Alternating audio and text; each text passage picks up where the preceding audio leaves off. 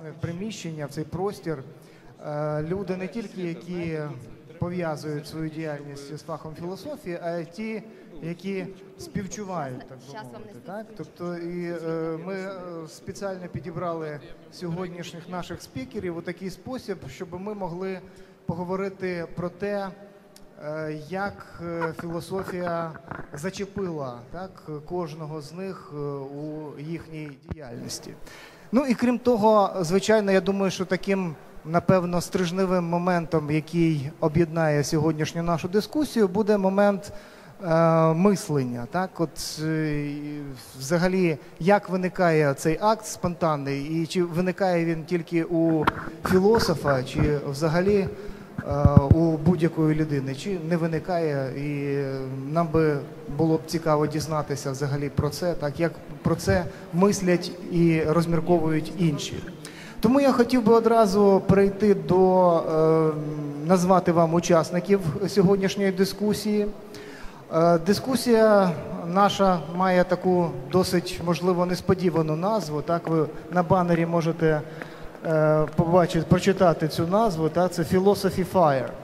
Е, Ми навмисно, напевно, обрали таку метафору, гераклітівську метафору вогню, вогню як е, такої якоїсь динамічної субстанції, яка змінюється, яка може перебувати в якомусь інертному стані, а потім раптово спалахувати і поймати е, кожного, і, е, так би мовити, надихнути. Так? Ну, кілька слів, е, кілька слів про е, наших сьогоднішніх учасників. Я почну з того крила. Відповідно, так, це Вадим Манжулін, Вадим представляє сьогодні університет Києво-Могилянська академія. Це Анатолій Дністровий. Анатолій, крім того, що він письменник, філософ, він е, нещодавно постав в новому амплуа як художник. І тому він сьогодні буде ще відповідати в нас, е, прикривати сферу мистецтва, так би мовити. Да? Е, Це також Вахтанг Кібуладзе з Національного університету Тараса Шевченка.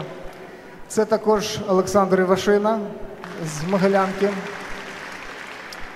Це Андрій Богачов з е, університету Шевченка.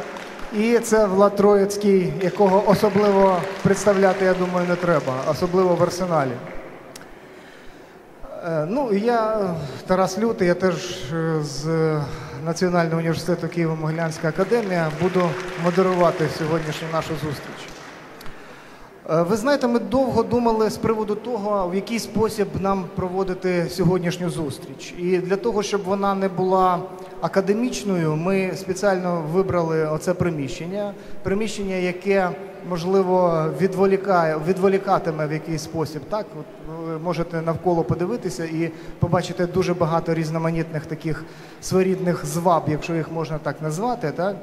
Ем, які будуть відволікати від серйозних розмов. А разом з тим ми б не хотіли, щоб можливо ці розмови були аж надто серйозними. І тому знову ж таки повторюся, ми обрали це приміщення. По-перше, ну і по-друге, знаєте, як колись на початку 19 століття е, німецькі молодогегельянці збиралися на Фрідріхштрасе для того, щоб е, і збиралися вони в спеціальному в кнайпі такі, так, де можна було випити пива, е, курити, і е, можна було говорити вільно на якісь. І е, сама назва кнайпи привілля була, так? Тобто це така розкутість, в якій можна було все. Ну, вочевидь, у нас особливо пиячити і курити тут, напевно, не можна, так? Але ми спробуємо зробити таку своєрідну. е, Я не знаю, такий бенкет думки своєрідний, так? Ну е, і, е, власне кажучи, будемо говорити ми на різні теми і розпочати для такої своєрідної затравки я б е, запропонував би е, на таку загальну можливо тему. Так, ми таку тему назвали е, філософія і мистецтво, мистецтво і філософія, філософія як мистецтво чи мистецтво філософії. І я думаю, що кожен з учасників спробує дати якусь свою візію. Вона, я не думаю, що буде детермінована жорстко цим е, нашою, нашою тематикою, так? але е, те, як собі кожен уявляє мистецтво філософування, і взагалі е, філософію в мистецтві. Я думаю, що кожен спробує це зробити. Ну і на початку я думаю, що я просто запущу мікрофон по колу і почнемо ми з Влада Троїцького. Философия мысли, э, искусство или искусство философии. Вот когда мне говорят, я уже сразу запутался и растерялся. Думаю, о чем бы же сейчас говорить? Хочется говорить о, о жизни, как вот сейчас, как о прикладном, ну, как это, мироощущении, наверное, и ответственности художника, и просто человека как за свою жизнь, так и за жизнь окружающих.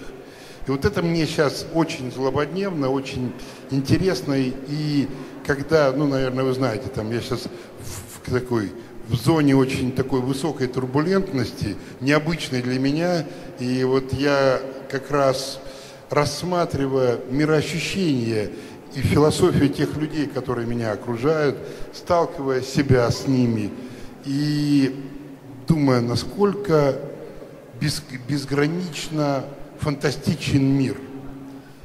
С другой стороны, вот сейчас я увидел без- э, большое количество молодых людей, которые вот приш- приперлись сюда, пришли сюда, простите. И вот и слушать про философию. Ну это же божественно. Как это вообще может произойти в 8 часов вечера, как на какой-то там, ну, не знаю, такой приличный, приличный концерт. Пришли люди что-то слушать. И это меня очень сильно обнадеживает, потому что я понимаю, что еще два года назад это было бы нереально. Это было бы просто, ну, невозможно такая история. Сейчас э, мне кажется, что в Украине люди устали, устали быть на окраине, устали быть как бы в провинции то ли Европы, то ли России. И вот это вот ощущение, переход сознания из провинциального в системообразующее, это на самом деле серьезный философский вызов, потому что одно дело, ты се- себя чувствуешь каким-то, ну, какой-то периферии, да, другое дело, когда ты берешь судьбу в свои руки. И это очень забавно на этим наблюдать. И вот этот вот момент доверия друг к другу и созидания, вот я думаю, самый главный э, как этот, тренд и мысление, и делание. Ну, потому что философия без делания это какая-то, ну, для меня это точно не философия. А искусство и это ответственность все-таки э, человека перед собой, перед Богом. Больше не перед кем. Вот это то, что ты делаешь, если ты не обманываешь, не пытаешься обмануть себя и обмануть другого, в эту секунду что-то п- в тебя поселяется, да? Ты становишься творцом, и это твоя жизнь. Вот это, собственно, все, что я хотел сказать. Да. Я думаю, що е, ми маємо тут визнати, що існує дуже багато різних мов. І в мене немає відповіді, де закінчуються мови мистецтва і починаються мови філософії. От однозначної остаточної відповіді, я думаю, ніхто дати не може. Але я знаю, що існує багато філософських мов, які треба спеціально вивчати. І якимось дуже складно говорити, коли ми збираємося в великій аудиторії. Проте, на мій погляд, багато митців теж можуть сказати, що мова, якою вони творять, більшості поки що невідома чи ніколи не буде відома. І тому я е, от утримався б від е, остаточного рецепту, де мені бачити філософію, а де починається мистецтво. Дякую. Олександр Івашина, прошу. Та що, що ти? Ну я якось інакше подивився, якщо можна, я буду за кріслом, за якісь моменти, які можна було б сьогодні проговорити. І для мене було більш важливо торкнутися якихось інших речей. Е, Так сталося, що ця дискусія або ця зустріч отримала такий несподіваний розголос в мережі. І дякую тим людям, які прийняли цьому обговорення. Я б сказав, що не дивіться, що я такий сивий, бородатий, а всередині мене, як казав один пітерський художник Володимир Гоос, е, маленька дівчинка співає і танцює. І оця маленька дівчинка, яка співає і танцює, вона певним чином через неї я намагаюсь дивитись на світ, оцінювати світ.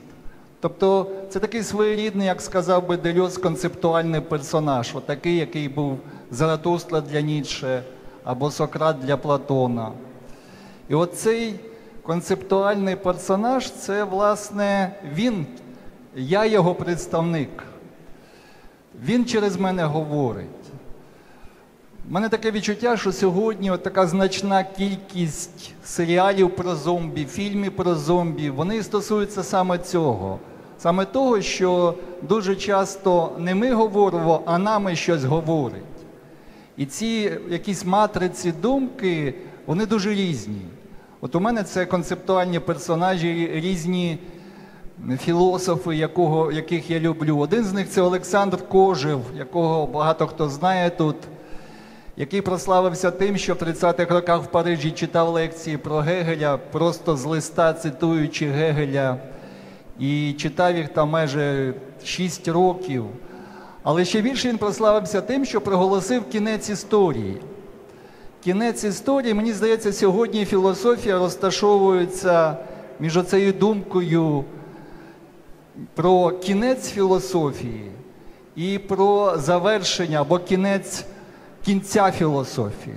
Вибачте, якщо це якось не надто тактично звучить.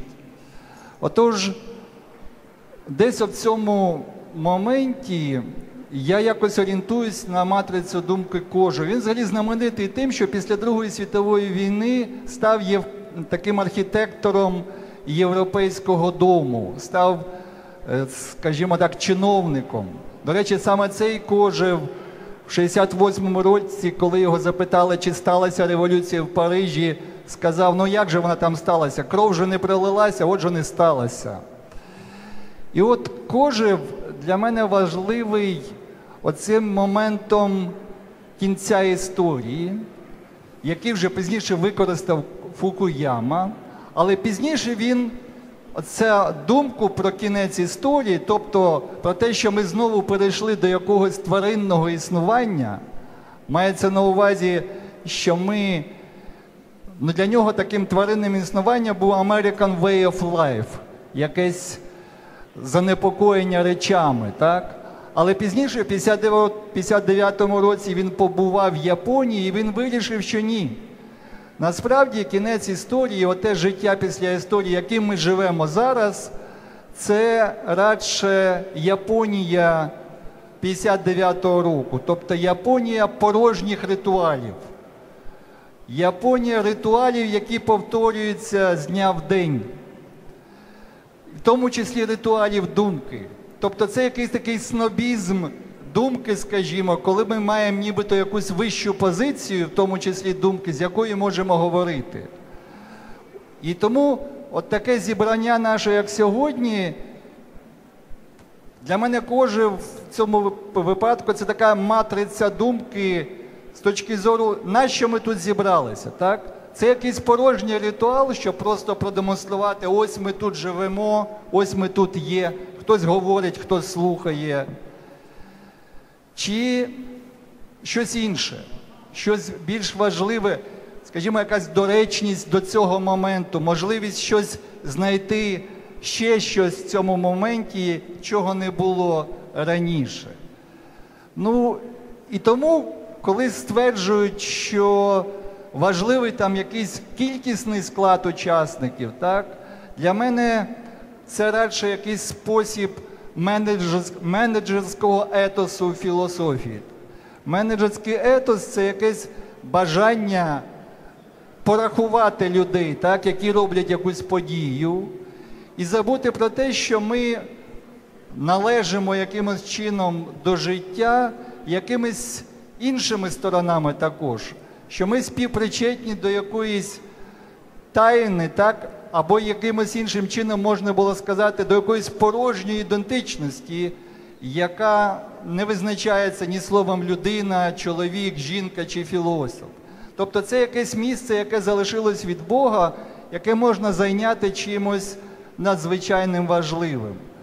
Чи з'явиться оця співпричетність один до одного через якусь тайну? Це вже якийсь момент іншого, який зараз нам розкажуть Вахтан Кебуладзе.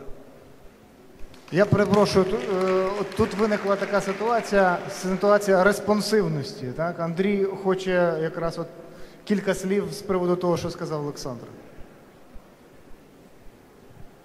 Я б хотів відразу дискусію почати.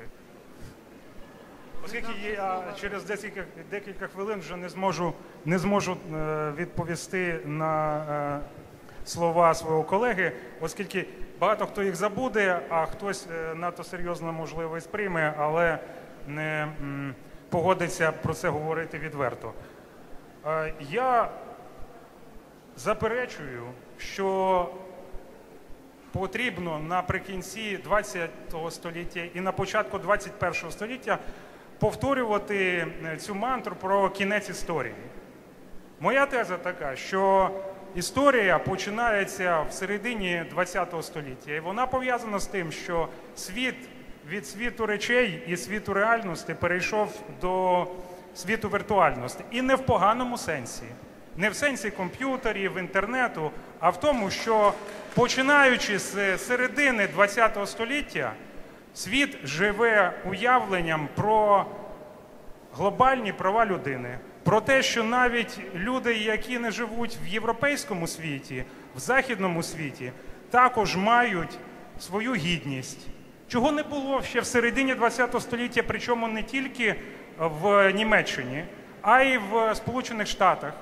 Сьогодні президент Сполучених Штатів не належить до е, от, представників е, бі- білої там, половини так, е, громадян Сполучених Штатів. Тобто я стверджую, що справжня історія тільки починається.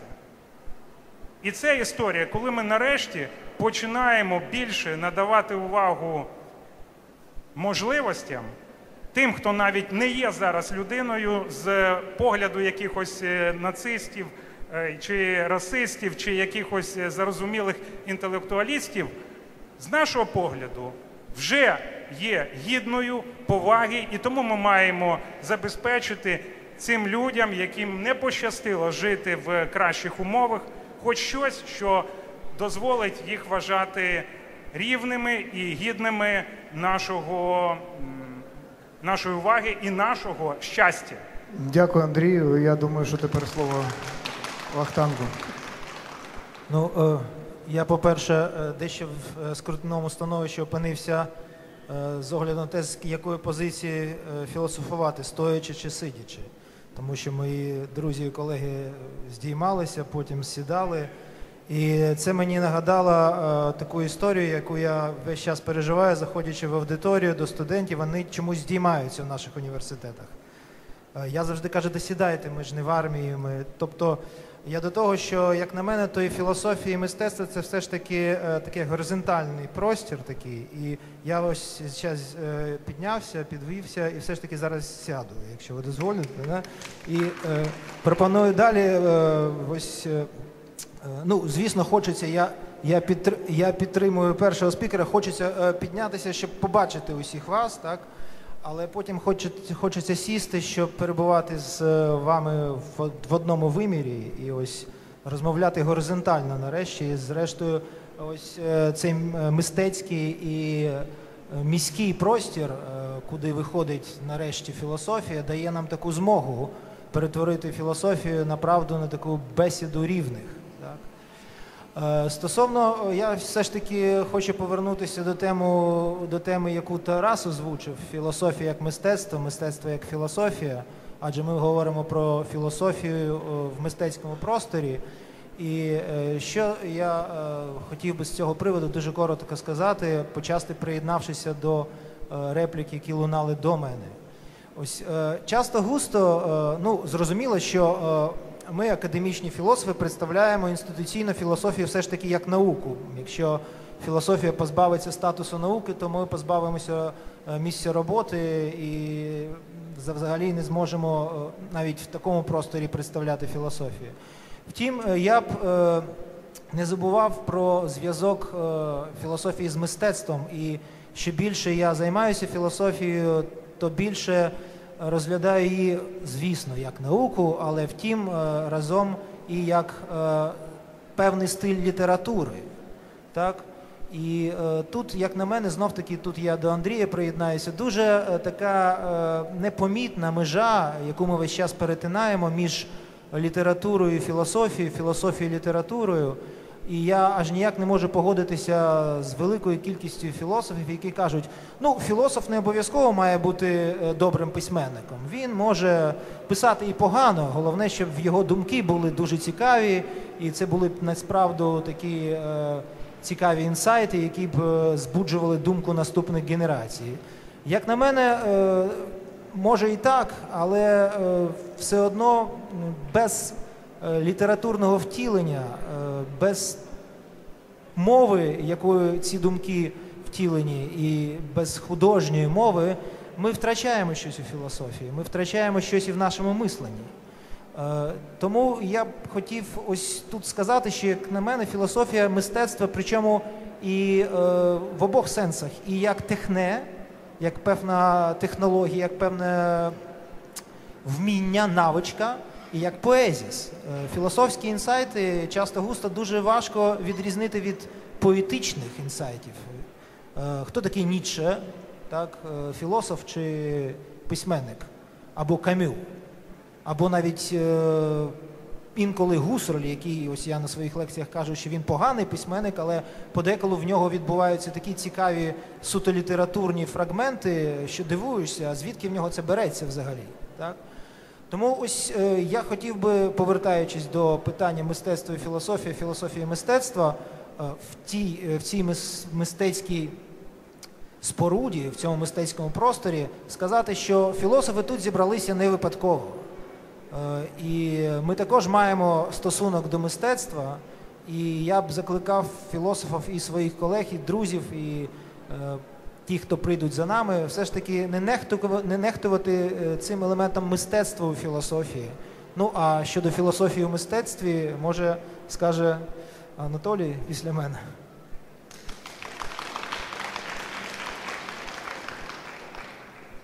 Добрий вечір всім. Е, Я би хотів трішки розвернути цю цікаву дискусію саме до справ власне літературних і подумати про те, які в літературі ще є, так скажімо так, якісь нелітературні чи трішки, ну такі, скажімо так, філософські завдання. Мені здається, що ми зараз живемо дуже в цікавий час, що будь-яка практика, творча практика, незалежно чи це мистецтво, е, там живопис, чи це, чи це письмо. Е, Мені взагалі більше подобається говорити про термін письмо, не розрізняючи в ньому, чи це романіст, чи це есеїст, чи це філософ. Е, Тобто, будь-яка практика, ми зараз всі розуміємо, що е, недостатньо тільки цього. Недостатньо, тому що зараз більше має значення представлення чи репрезентація. Е, Тобто, це я би так сказав, якийсь ку- культурологічний, можливо, філософсько-культурологічний бекграунд. Якщо ми будемо читати поетів, які видавалися за часів більшовиків, то по цих збірках було дуже добре видно, е, де, де автор алкоголік. Ти читаєш, тут відразу провал пішов, дуже серйозний запой, тут він виходить і так далі.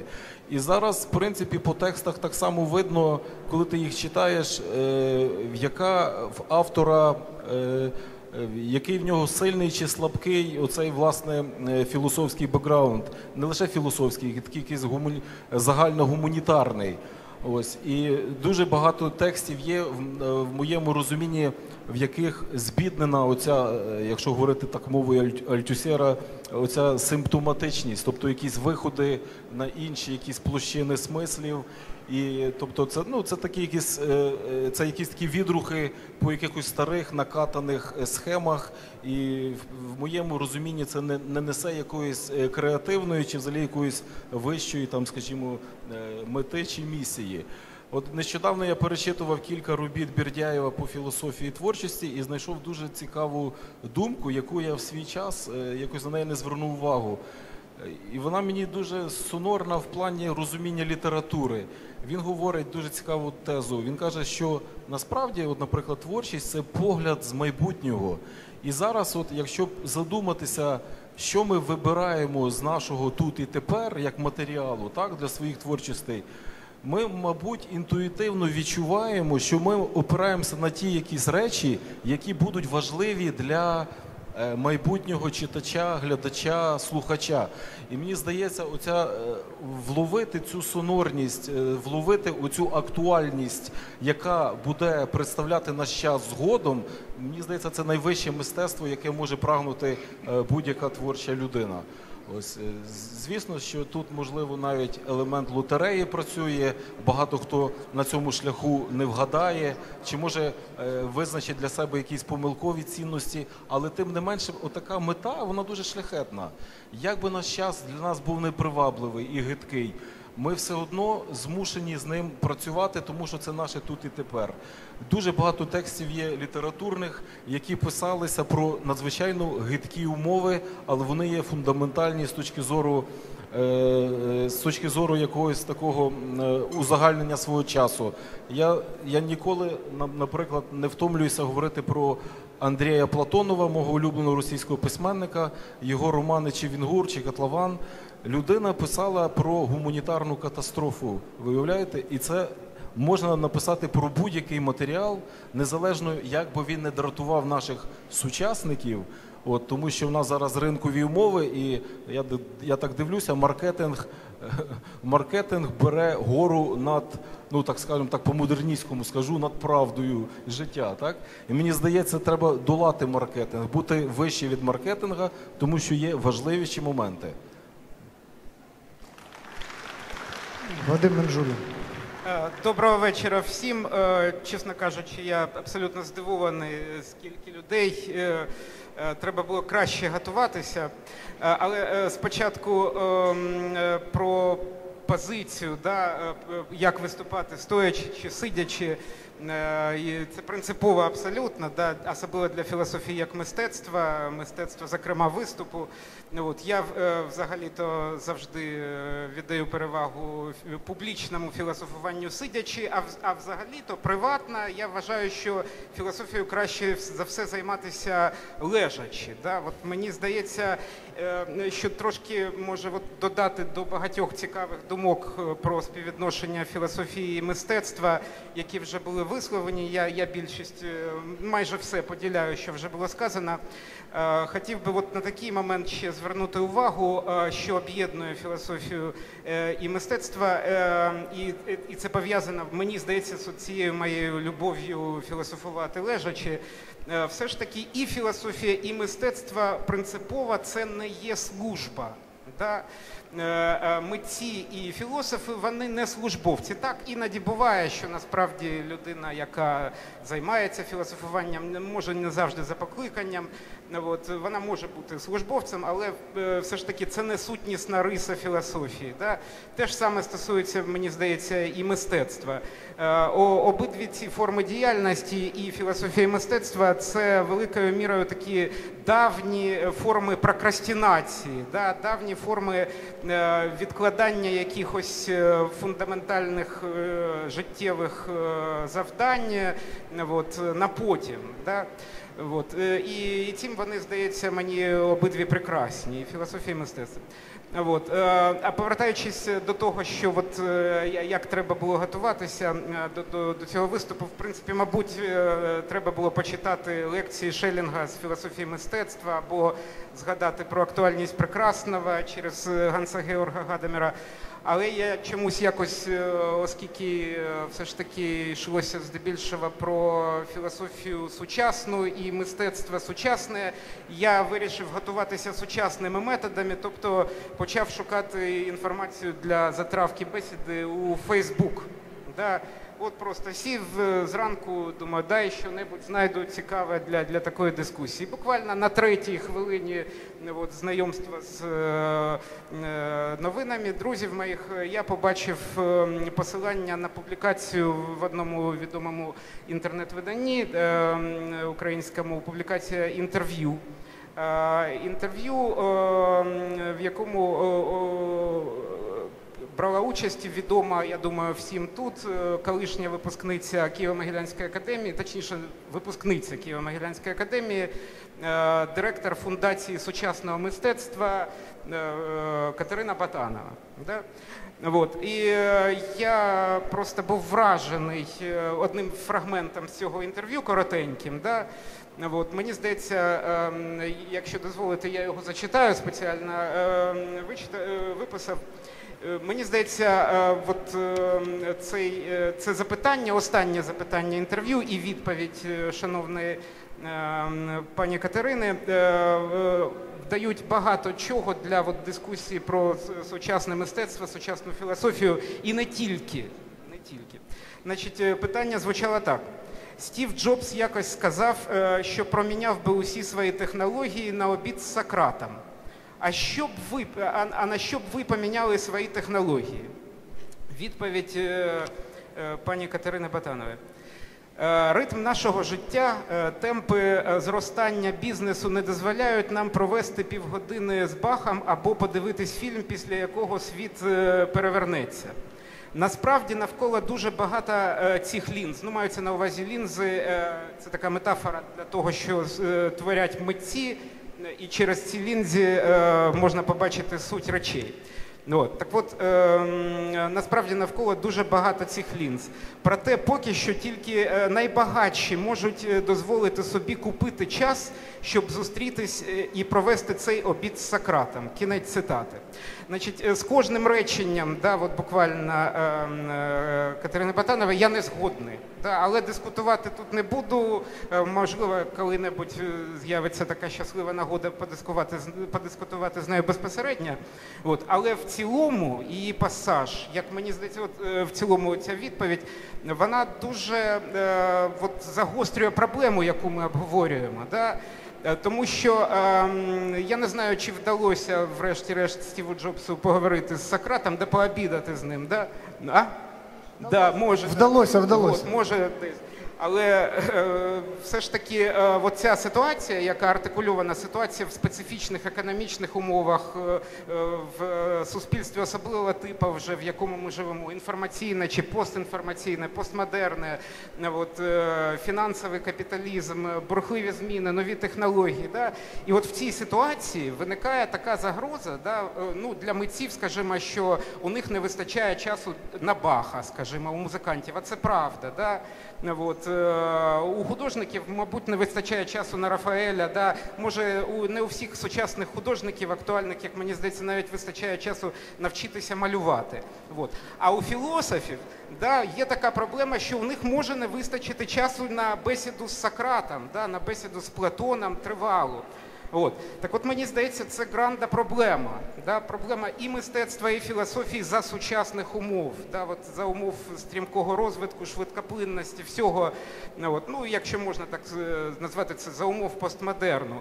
Тому що все менш є можливості у сучасної людини, яка намагається жити в сучасному темпі. Да? От якщо вона, скажімо, займається філософією, е, займатися нею як це треба. Да? А треба займатися філософією, проводячи принаймні пів життя в е, діалозі з е, геніями, да? з стовпами філософської думки. От е, так я хотів би сформулювати. Дякую, Вадиме. Я зараз ще раз передам слово Владу Троїцькому, але перед тим хотів би сказати таке. Тобто я от погоджуюсь зі словами Вадима Меджуліна з приводу того, що шкода, що ніколи не вистачає часу провести, можливо, якийсь діалог так, з якимось е, великим філософом. А м, е, повертаючись до нашої дискусії е, про мистецтво і філософію, хотів би е, звернути увагу всіх дискутантів і слухачів, що беруть участь в нашій дискусії, на такий момент. Власне кажучи, зараз е, можна часто зустріти думку про те, що в сучасному світі роль філософа, як ну, філософа як е, носія певної професії, яка зараз не дуже популярна і, власне кажучи, не дуже така зужиткова. е, Бути філософом не зовсім вигідно, так? І от роль таких філософів, які, ну можливо, більш соціально активні, якраз виконують митці. Митці, які, е, зрештою, я не хочу сказати, паразитують, але використовують певні е, технології, техне, так? використовують певні техніки, які були сформовані власне е, філософами. Ну, можна навести приклад там, ну, нещодавно. Е, Я думаю, теж сколихнула соціальні мережі звістка про те, як е, в Москві один із митців е, прибив свою даруйте калитку до значить, бруківки на Червоній площі. Так? Тобто на, на позір ми бачимо типовий, типову поведінку, яка гідна, наприклад, Кініка якого-небудь, так? наприклад, Діогена Сінопського. Так? І от, власне, подібні форми поведінки найчастіше е, практикують, провадять саме митці, а не філософи. Е, Перед тим як е, от власне е, хотів би зараз е, запитати у е, Влада Троїцького з приводу того, як е, подібні практики використовуються в театрі митцями. Знаєте, колись в 20 столітті Антонен Арто звернув увагу на те, що йому е, не сила сформулювати чи принаймні зафіксувати думку. Він говорить про те, що думка весь час не дається, щоб бути вербалізованою. Так її не можна висловити. А якщо висловлюєш, то вона весь час ніби е, не твоя думка. Це якась чужа думка, вона якась дохла думка, не твоя. І е, от власне е, він е, якраз перейнявся цим питанням, як можливо не на вербальному рівні поводитися з думкою, як митець поводиться з думкою, наприклад, в театрі. Я все-таки встану, не могу сидеть, и я выйду. А, смотрите, вот на самом деле вот сейчас образец, как неправильно сделан спектакль. Вот мы, мы все равно это зрелище, да, интеллектуальное зрелище, такой интеллектуальный концерт. И вот сидят э, уважаемые мужчины, седые строгие мужчины, за столиками, отгородившись от людей. И тут яма, через которую практически невозможно перекричать. Ты волей-неволей, ну, еще с, с этой акустикой фантастической, ты попадаешь, мы попадаем все, в ложную ситуацию. И все наши ну, умные или неумные мысли, они рассыпаются в акустическом и пространственном решении нашей истории. И вот получается, искусство режиссуры и искусство философии попадают в конфликт. Вам бесконечно нужно напрягаться, хоть чтобы, хоть что-нибудь понять, что говоря, э, говорим мы. Ну, это такой тяжелый труд, я, я вообще не понимаю, я бы бежал, лично я. Даже если бы это было бы, э, это ну, просто меня рас- рассыпает это пространство. Э, Мы тоже сидим, я понимаю ваш вот этот конфликт, встать, сесть, потому что встаешь как дурак, сидишь, ну тоже, в общем, ложная ситуация, актерская. Я понимаю, вот я как режиссер думаю, «Блин, что нужно сделать? Понимаю, что все, что я не сделаю, будет плохо. Ну, ре- решил просто вам поставить диагноз. Вот что такое там театр и фило- философия, да, и театр, и как вот мизансценировка разрушает любой замысел. Самый святой замысел можно разрушить.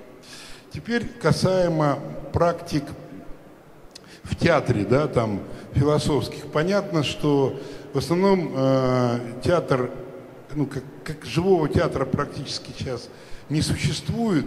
Ну, и молодые люди, в общем-то, крайне редко ходят в театр нормальный. Я сам бы не ходил никогда, пришлось. Вот, потому что с тобой разговаривают, как будто ты немножко дурак, да, тебе пытаются всунуть в сознание мыслей, которых уже давно нет. И ты должен, ну, говорить там что-то, слушать, что это классика. Псевдоклассика, потому что это классика, это ж так же, как в академической науке, это то, что ты очень добросовестно изучаешь, а потом делаешь новый эксперимент. Никого не интересует то, что было на самом деле, ты не понимаешь, что было тогда. Что такое живой театр начала 19 или начала 20 века? Да черт его знает, что такое. Что они тогда люди думали? Как они вообще, ну, это, это мы же другие, мы такие же и другие. И вот мне опять, я сейчас возвращаюсь к этой истории, мы сейчас находимся в очень острой ситуации. Мы, ну, не, не здесь, вот, здесь милая ситуация. Мы находимся в острой ситуации выбора своей судьбы.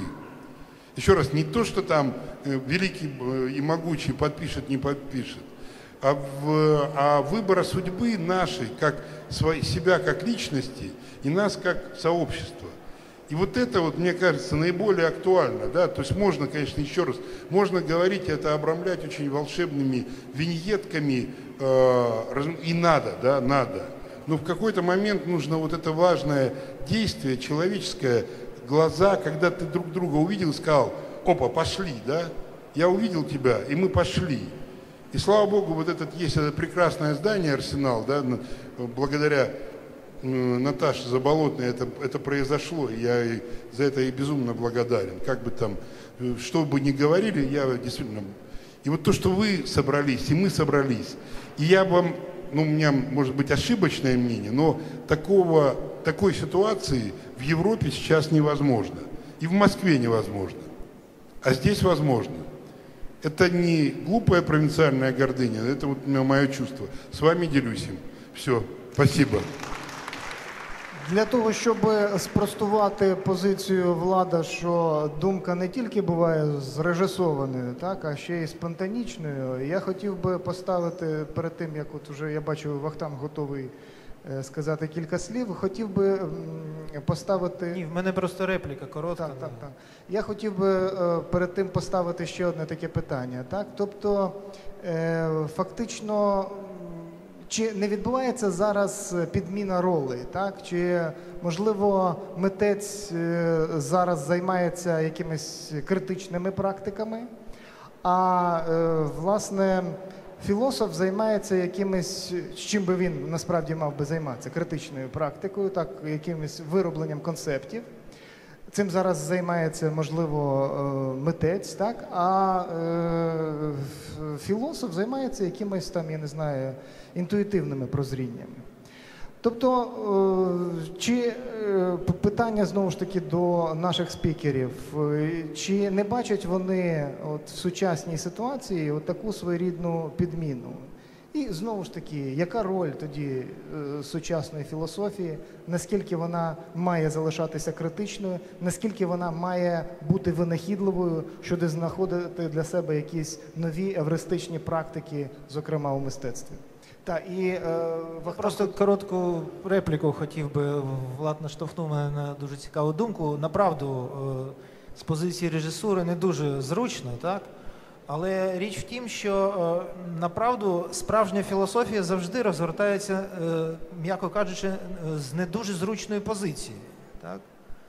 Ну, Сократ, коли сидів перед смертю з учнями так, і розмовляв з ними, він розмовляв з дуже незручної позиції. Так? І ось в цьому, мабуть, парадокс філософування, що ми завжди філософуємо з дуже незручної позиції, а може навіть з граничної позиції, з позиції, коли може за мить нас не стане. Так? Не те, що там якась там прогалина між нами і аудиторією, так, і погано зрежисовані наші зустрічі, і погано зрежисовано взагалі академічне середовище в Україні і в цілому світі. І коли я заходжу до аудиторії, мені б геть хотілося все змінити тут і зрежисувати все одно, все, все, все інакше, але все одно я сідаю і починаю філософувати. І я ну, вважаю, що це не наша ситуація тут і тепер. А мені спало на думку, що це ситуація одвічна з філософією. Наприклад, Кант він ніколи не читав власну філософію. Він читав філософію за дурнуватими застарілими підручниками.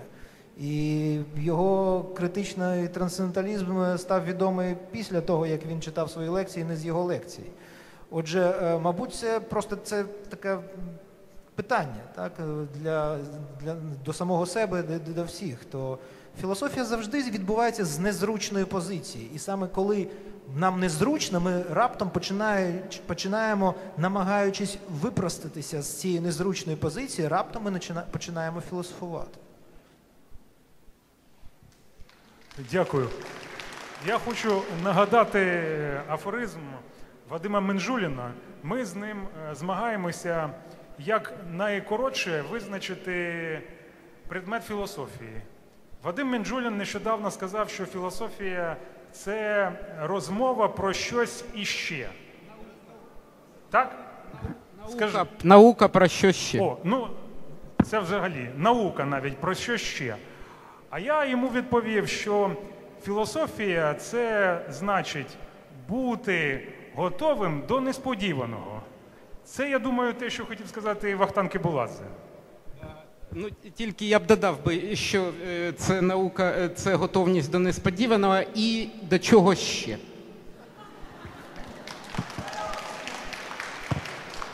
Постійна незавершеність.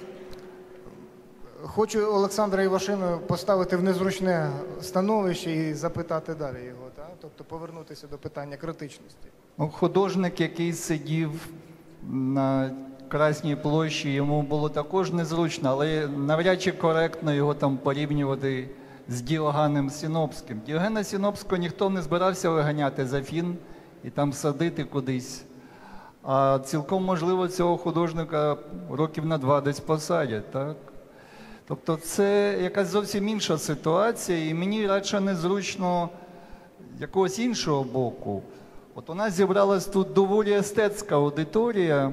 Естетська в тому плані, що в нас є вільний час слухати такі речі, і мати такий вільний час і витрачати його не на виживання, не займатися тільки виживанням, можуть дозволити собі сьогодні на землі дуже небагато людей. Тобто ми попадаємо всі зараз в якусь привілейовану частину людства. Але від цього несправедливості світу нікуди не ділися. І, можливо, це така найбільша ну, проблема або конфлікт всередині мене або багатьох, що з одного боку ти думаєш про мистецтво, ти думаєш про якісь практики жити радісно і хочеш жити радісно. А з іншого боку, є якісь практики поводження і філософією, і мистецтвом з отими несправедливостями світу, які сьогодні існують. Ви говорили тільки про критику. Це не тільки критика. Від нас вимагається часто ця критика абсолютно недоречна і нікому не потрібна. Вимагається якихось інших дій. І от, власне, от в цьому якась напруга сьогодення, так, для людини, яка намагається думати, як от розташувати себе в цих двох практиках, які на тобі, на тобі, на кожному з нас можуть перехрещувати. Жити радісно і якось ставитись до цих несправедливостей цього світу і тих, хто страждає в цьому світі.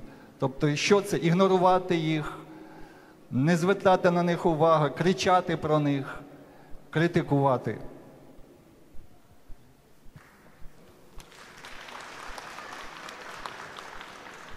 Дякую. Все ж таки, коли йдеться про несправедливість, е, бажано уточнювати і знати, що робити з цим. Е, Я б сказав, що все ж таки не так все погано. І просто загалом казати про несправедливість це не наш професійний обов'язок. От запитаємо, скільки жили люди ще 200-300 років тому в Європі в середньому? 25-30 років. Сьогодні ми кажемо, що наше суспільство надзвичайно несправедливо ставиться до старшого покоління. Але ж у нас є старше покоління. 300 років старшого покоління практично не було. Тоді е, запитаємо себе, чи варто просто казати, що от філософи зараз е, мусять нагадувати кожному, ніби вони священники чи навіть е, моралісти-письменники, про е, наявність несправедливості. Я думаю, що звичайно вони можуть говорити про несправедливість, але все ж таки якоюсь більш-менш загально зрозумілою мовою. Я особисто вважаю, що така мова пов'язана з поняттям права, з поняттям е, відповідальності, а не просто з е, розмовами про те, що світ в цілому от, побудований несправедливо і цього уникнути не можна. Тільки філософи це єдині, хто можливо бачить, що цей світ такий поганий. Отже, у мене особисто відчуття таке, що останнім часом філософи е, говорять переважно про ідеї, і є багато дуже специфічних от, розмов про ці речі. А митці натомість залишили ідеальне, залишили віртуальне і повернулися до світу речей. Вони в цьому сенсі значно більш реалісти, ніж е, філософи. І думаю, що в такому разі вони частково виконують і їх е, роботу. Але я в цьому не бачу нічого поганого, нічого такого, що говорить про несправедливість цього світу. Дякую. Вахтанг, будь ласка. Ну, я хотів би знов таки повернутися до е, того, про що е, Тарас сказав. Е, ось е, чи має сьогодні філософії і ну, взагал, взагалом гуманітаристика, не лише філософія, той критичний потенціал, який вона начебто має мати, і чи не передала вона е, це право і цей обов'язок е, мистецтву. Але я бачу ситуацію дещо складнішою. Я замислююся над тим, взагалі, наскільки можлива в нашій сучасній ситуації, не лише в Україні, а у світі в цілому, а в Україні насамперед, взагалі соціальна критика. Так, е, ось в ситуації, е, коли е, панує тотальна безвідповідальність, і коли будь- будь-яка критична дія може перетворитися на дію доволі конформістську. Е, Я маю на увазі е, те, що ну, ось цю ідею Бодрияра, що е, влада тотальна, вона потребує критики, аби засвідчити своє просто існування. Так що якщо ми її не критикуємо, то її начебто і немає. Легітимізуємо. В такий спосіб легітимізуємо. Ну і ось один, ми коли е, обговорювали цю дискусію, пам'ятаєте, був один з сюжетів, який нас турбував, ось сюжет, який тут відбувся з цією фрескою, яка була замальована. Але ось е, тут е, для мене е, патова ситуація, так? Тому що, начебто, я маю підтримати ось цей пафос критичний, який був здійснений в цьому витворі мистецтва, і маю дуже критично поставитися до знищення цього критичного пафосу. Але з іншого боку, я замислююся, а чи міг цей критичний пафос взагалі здійснитися, чи він міг досягти своєї цілі ось в цьому просторі? І чи не іншу якусь мету ставив перед собою взагалі е, митець, коли він це робив? Чи він взагалі над цим не замислювався? І чи можемо ми е, ну ось просто так вийти е, в державну настанову? Ну, це все одно, наприклад, я приходжу до університету і кажу: я знаю, що наша академічна система дуже погана. Так, я знаю, що ми успадкували її від Совєтського Союзу з усіма але і усіма негараздами. Але що я маю як філософ робити в цій ситуації? Критикувати ту- цю систему, перебуваючи всередині цієї системи, або вийти з цієї системи і де я опинюся тоді. Тобто е, виникає ще така топографія критики, так? з якого місця взагалі ми можемо критикувати те, що нас не влаштовує.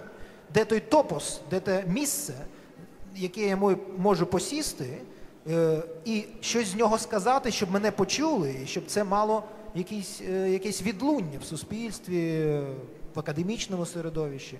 Тобто тут е, питання не в тому, критикувати чи не критикувати, а питання, як критикувати, з якого місця критикувати, щоб ця критика не перетворилася на легітимацію влади, а, на, а, а щоб вона привела дійсно до якихось зворушень і до якихось трансформацій в суспільстві е, в цілому, і в нашому середовищі, зокрема.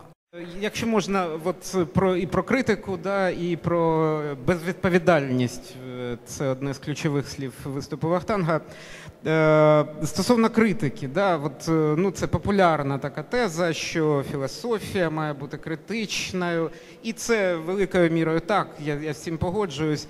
Але е, от мені здається, що там, де є надто багато критики, да, коли вже це введено в якийсь е, режим да, регулярний, це якийсь обов'язок, да, от критикувати, критикувати, і коли про це дуже багато говориться. Подобається, да, це набридає і виникає потреба у чомусь іще.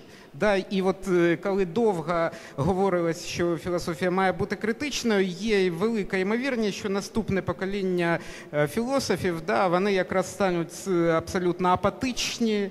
Да, вони якось е, відокремляться від соціального життя, чи е, десь е, як з- е, Епікура, да, епікурейський сад, щось таке. Ну, це, це по-перше. По-друге, щодо безвідповідальності, да, і взагалі питання, як формулювалася відповідальність за сучасних умов.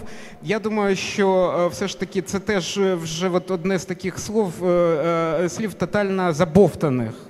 Да? От ми всі е, вимагаємо від інших, від себе, від, всі, від всіх, да? вимагаємо відповідальності, але насправді да, ем, е, що таке відповідальність? Да? Там же ж є е, момент відповідності. Да? Чому ми взагалі до, до чого ми можемо апелювати, коли ми взагалі намагаємося уявити якусь відповідальність? Чому відповідати? Чи існують в сучасному постмодерному насиченому виключно симулякрами світі да, якісь предмети, ну, от, яким щось може відповідати? Наші уявлення, наші дискусії, дискурси і так далі. Здебільшого таких предметів вже нема. Да? Наші слова, як правило, нічому не відповідають. Ну, от, ні, ні, ні з чим не кореспондують, і наші дії також. І відповідна проблема відповідальності, да, вона в нашому сучасному розпорошеному такому постмодерному світі вона дуже різко знижується, дуже насправді вульгаризується і розчинюється, тому що е, е, можна робити насправді все. Можна робити е, все, і на все знайдеться своя аудиторія. Да? На все знайдеться якийсь свій слухач, свій глядач. От, на будь-яку філософію, на будь-яке мистецтво, врешті-решт. От, е, тому мені здається, це, це вже щось таке от застаріле, да? відповідальність. Будь-яке мистецтво. От навіть е, цей митець, е, на, жаль, забув його прізвище, який здійснив цей акт на Красній площі в Москві. Е, От е, це ж е, з одного боку, да, от хтось висловив тезу, що його не можна розглядати як митця. З іншого боку, я вже зустрів безліч коментарів, що от це найпросунутіше мистецтво, або, скажімо, Riot, да, це геніальне мистецтво, велике. І так далі. Де відповідальність? Нема. Да, да, давайте бути щирими. Нема відповідальності митця і філософа за сучасних умов, поки ми живемо в світі постмодерну. Анатолій, ти хочеш щось сказати? Да? Ну, тема ця справді дуже складна. Взагалі, і місія, і призначення митця чи філософа, і його статус, і роль. Мені здається, що ми завжди забуваємо про один момент. От реально десь приблизно на наше покоління, ну молодші на 20 років чи на 10, старші на 10, там так само чи 20 років. Ну, банально кажучи, десь от, отакий люфт я би взяв. Е, Люди, люди, от оцей антропологічний вік, на, на них на їхній час припали фундаментальні зрушення. Ми, ми цей момент забуваємо. Ми всі ж діти реально ще галактики Гутенберга. У нас нема рефлексів з планшетів читати. От дитині дарують книгу. Три сам бачив на свої очі, я був шокований. Дитині дарують красиву дитячу книжку. Вона пальчиком веде по обкладинці і дратується, що не міняється обкладинка. Цифрове покоління з'явилося. І до чого я веду? Е, Перед кожним з нас стоять фундаментальні е, виклики, як себе поводити, куди нам далі рухатися. Чи, чи це режисер, чи це автор, там, чи, чи це романіст, чи, ну, чи, чи будь-хто, будь-які творчі практики. Тому що ми формуємося в одних умовах світу, банально кажучи, намагаємося е, взяти, виробити якісь інструменти пояснення цього світу, а світ же як потяг, він же поїхав дав- давним-давно, і невідомо, чи ми ще можемо заскочити в останній вагон. От і я, наприклад, коли це якось для себе уявив і зрозумів, це шалене прискорення, яке насправді воно ж не зменшується, і воно не те, що не зменшується, воно просто зростає в якійсь е, прогресії. Мені навіть страшно говорити в якій. В цих умовах треба зрозуміти, що людський розум, тобто розум фізичний, він не здатний вже займатися оцим вловленням миті світу. Це, це утопія, від якої треба відмовитися. І мені здається, що тут, в цих умовах, доцільніше займатися, скажімо, якимись такими практиками коригувального типу. Тобто ми можемо розставляти акценти, ми можемо займатися переінтерпретаціями чогось, ми можемо займатися коментарями. Мені здається, зараз дуже великий плацдарм для, наприклад, такої трішки нудної і нецікавої для когось дисципліни. Я її страшенно люблю, як історія філософії. Тут можна жонглювати, можна робити, створювати дуелі між ким завгодно, між, між Гегелем і Поппером, там, ну що душа тільки бажає. Тобто, які смисли шукати в, в, е, в речах попередніх. І, і, і те саме, зрештою, зараз. е, Цим шляхом пішов і живопис, і та сама література. Я дивлюся, ну Ну, ти ще даш ще один текст, якесь своє душевне відкровення. Воно вже нікому не потрібно. І зараз, по суті, я дивлюся, як актуалізуються якісь е, старіші давніші практики. Наприклад, дуже блискуча виставка була одного російського художника. Він взяв, він взяв фрески Джотто і замість оцих, е, замість цих фресок розмістив свої оці абстракції. І воно просто фундаментально бомбезно виглядає. Він просто перезавантажує Джотто, по суті, актуалізує його і змінює ще себе, по суті, ну, свою, так би мовити, якусь оцю культурологічну е, площину. Тобто зараз в цьому сенсі час дуже цікавий для експериментів. І, і взагалі, якщо говорити про Україну, в нас, попри те, що зараз падає і руйнується там і гуманітарне поле, ну реально старі структури інституційні, в яких би міг формуватися там філософ там чи, чи будь-хто. Нові тільки можливо вони виникають, а може ще їх немає. Ми перебуваємо на руїнах. Зараз все одно час дуже дуже цікавий, бо це час реальних е, свобод, і ми кожен з них можемо моделювати себе як якогось е, як якусь програму, куди нам рухатися. Раніше цього не було. Навіть в 90-х роках цього не було. Тому що в 90-х роках я, як е, за першою світу історик, хотів попасти на археологічну практику в Іспанію. У мене не було 50 баксів, щоб дати цей завдаток. Просто грошей не існувало. А зараз час, по-моєму, такий свобод різних. Дякую, Анатолій. Е, Зараз е, Влад Троїцький продемонструє, що власне відповідальність існує і як мистецький акт. Опять вылажу наперед. Смотрите, э, вот по поводу ответственности очень забавная мысль. Э, С одной стороны, нет. С другой стороны, когда возникает завтра никогда, ну, у каждого из нас бывает тот момент, когда ты понимаешь, что завтра никогда, или, по крайней мере, задумаешься. И в эту секунду, безусловно, возникает это чувство, а что делать-то в жизни? Ну, собственно, вот формат, что такое, ну, а что ж ты, твоя жизнь, что же такое было? Что это за путешествие, не путешествие? И вот тогда возникает вопрос ответственности за свою жизнь. Если только об- этой секунду, в эту секунду подумал, не обязательно. Ну, и вот сейчас у меня к вам такая вот предложение. Одна а, такой маленький перформанс, предложение сделать вместе. Неожиданный. Вот давайте попробуем минуту просто помолчать. Вообще не говорить, не двигаться, просто помолчать. И попробуем послушать этот мир. Это, конечно, не 30 минут, как это, безмолвие как бы на полчаса, но хотя бы на 60 секунд. Ну, без минуты молчания, да, без, без мрака, а просто в тишине. Окей? Поехали.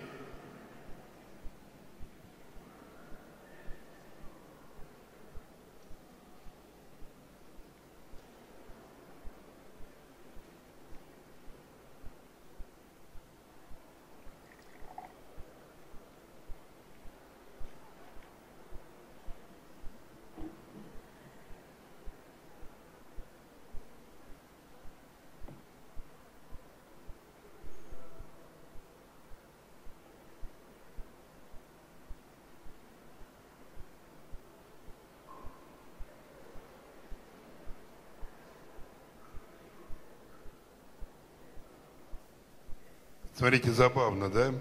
60 секунд было выдержать тяжело. Но если кто был чуть-чуть внимателен, вы, наверное, заметили, как расширилось пространство. Не было такого чувства? Нет? Неожиданно, да? Вот вдруг мы приняли мир, да, вот эту секунду, какая-то там две секунды продолжалось какое-то чудо. Не у всех, безусловно. Но это, вот эта возможность открыть мир и выйти из ситуации просто, ну, просто непонятного перформанса, вот этого, да, ну, все равно наш прекрасный, но это, ну, непонятный перформанс, и вдруг появился другая, другая координата мира, да, и мы ее, ну, кто-то отважился сделать, открыть свое сознание миру. Это дает понятие свободы. Понимаете, вот этот неожиданный момент, вот эта тишина, если правильно ее принять, дает понятие свободы. Ты выходишь из рамок предложенных тебе игры, переходишь в другую игру, у тебя появляется несколько координат свободы. И теперь я возвращаюсь, к, это коротко, да? Опять, мы сейчас находимся все в ситуации возможной свободы. Если мы переступим свой страх, тоже категория философии очень такая серьезная, и сможем сделать шаг вот в мир и открыть глаза с ответственностью, то, конечно, мы в силах поменять свою жизнь. Ну, я имею в виду свою, нашу, страны. Все. Ну, Після колективного акту маніпулювання масовою свідомістю, я думаю, Вахтанг з точки зору феноменології. Ні, в мене просто е, феноменологія Я тут, жартую. мабуть, не до чого. Тут реакція на ось експеримент влада. Е, Мені здалося, що він від початку був не зовсім щирий, коли говорив про незручність, адже він, е, зрештою, доволі свідомий як режисер. Зараз е, здійснив таку ситуацію, в якій ми, як філософи, відчували себе доволі незручно. Адже наша матерія це текст, чи то письмовий, чи то розмовний. І ми прийшли сюди, щоб говорити. Так? І ось е, ми почуваємося зручно, коли ми говоримо або чуємо. Коли ми мовчимо і нічого не чуємо, то ми почуваємося доволі себе незручно. Натомість режисер він е, моделює цю ситуацію. Мені на згадку спав е, е, перформанс, спектакль Нервові розлади наших батьків в театрі Дах. Нервові розлади наших батьків. Ось мені здається, що в цьому спектаклі також режисер Троїцький в дуже незручні ситуації поставив своїх акторів, тому що коли я зайшов і побачив перед собою на авансцені оголену молоду жінку, то я зрозумів, наскільки важке акторське завдання стояло перед нею, аби просидіти на авансцені ось так ближче, так? І дві години майже, майже не рухатися, лише здіймати руки і грати обличчями, інтонаціями е, голосу. Перше, що мені спало на думку, я подумав, якщо я за 10 хвилин забуду, що переді мною молода, красиво оголена жінка, то це класний спектакль. Я забув. Так? Дякую, супер. Так? Але е, через що цей ефект був е, досягнутий? Саме через те, що актори опинилися, як на мене, може вони так не вважають, але мені так здалося, в доволі незручних ситуаціях, і через цю незручність, як філософи, щось нам дали. Дякую.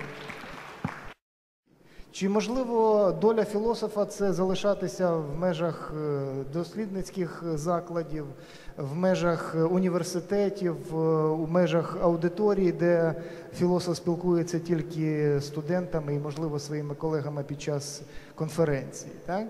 Тобто, от е, особливо коли розширився простір, ми сьогодні побачили, що навіть цей великий простір може розширюватися завдяки нашій свідомості. Чи розширюється простір завдяки е, того, що ми, зокрема, можемо виходити е, в обшир віртуального простору і взагалі сучасних е, значить, засобів комунікації? Е, Чому, як показує практика, філософи і взагалі люди від гуманітаристики е, воліють або не світитися, не бути публічними в цій сфері? Чому е, багато з них використовує форму анонімності, наприклад? Ну я розумію, там коли існував там, наприклад, індекс е, е, Prohibitorum, так, заборонених книжок, тоді можна було писати, чи треба було писати під е, ховаючись під якимись е, видуманими іменами. Чому зараз, нібито от є простір віртуальний, чому є потяг філософа чи взагалі людини мислячої е, ховатися, не виходити в цей простір, чи бодай навіть спілкуватися е, якимись е, е, текстами, лише за допомогою своїх текстів. Чи і лишилася ця проблема комунікації тільки через текст? Чи е, філософ має, власне кажучи, бути публічним і знаходити свою агору поза межами свого інтелектуального обійстя і виходити в якийсь соціальний більш широкий простір? Андрій, будь ласка. Дякую. Е, Видатний російський режисер Сакуров, коли приїздив сюди до нас у Київ, сказав, що він дуже заздрить от людині слова, бо словом можна сказати значно більше. Це його слова, ніж образом. Ніж образом. Але образ він е, має перевагу. Ми можемо до, е, до нього, скажімо так, от, звернутися швидко. І е, на відміну від е, тексту, особливо якщо текст е, серйозний, там, теоретичний і так далі, образ чи афоризм відразу зачіпає багатьох. Тому я, коли чую про публічність філософа, відразу ставлю питання: а чи можна в умовах мас-медіа висловити послідовну думку, яка б була довша за три афоризми? Не можна. Тобто сама ну, масмедійна логіка передбачає тільки один варіант. І, і, і. Послідовність без жодних зв'язків. Будь-які спроби представити щось теоретично, щось доводити, вже провал. Людина, яка починає перед аудиторією доводити якусь теоретичну думку, просто божевільний. Виправдання, Просто виправдання просто виглядає як виправдання. Так, так. Тому я б хотів сказати так. Е, мас-мед- ма- Мас-медії, як правило, симулюю- с- е, симуляція філософії. Якщо філософію розуміти як дружню розмову. От в справжній дружній розмові я можу з другом говорити послідовно, він мене витримає. Глядачі користувачі мас-медіа ніколи не витримують таку людину, яка спробує щиро щось доводити. Тому я думаю, що філософам властиво надавати перевагу текстові, а не мас-медіа. Хоча це не означає, що мас-медіа не мають е, пропонувати і цей варіант е, от, життєвої практики, але для небагатьох. Я не думаю, що вона може бути дуже поширеною. Оці от е, філософські дружні розмови. Це не буде цікавити велику аудиторію. І це нормально. Це нормально. Тобто доля філософа залишатися в аналоговому світі. Такому.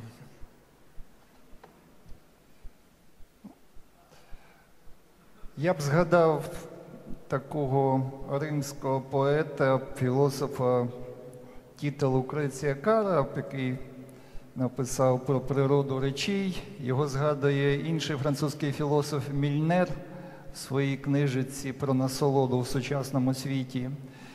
І є дуже відома фраза Лукреція про те, і вона мені страшенно імпонує, за якимись бурями, за якимись речами в світі приємно спостерігати, так як ніби ти сидиш на березі, а бачиш у морі шторм, і ось ось там потоне корабль, потоне корабель. Приємно сидіти в безпеці на березі. Ось це така якась найбільш ідеальна позиція. Ще більш приємно спілкуватися з мертвими, мається на увазі з мертвими філософами там, від Платона до Хайдегера. Але все це Мільнер розповідає заради іншого. В античному світі існувала така річ, як філія. Філія, яку там погано перекладають як дружба, це зовсім, я б сказав, інше. Це спілкування зовсім різних людей, але при цьому ці люди залишаються різними. Вони не інкорпорують один одного, як в прямому, так і переносному смислі. От біда нашого якогось часу, що сьогодні ми попадаємо, як ви кажете, в незручні ситуації, коли така комунікація вона стає не просто незручною, якоюсь катастрофічною.